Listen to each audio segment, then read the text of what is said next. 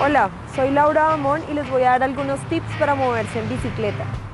En zonas peatonales los ciclistas debemos bajarnos de la bicicleta y llevarla con la mano, por ejemplo en los puentes peatonales, en andenes donde no haya ciclorruta o no le brinde conectividad. Recuerden que los peatones son los actores más importantes de la movilidad.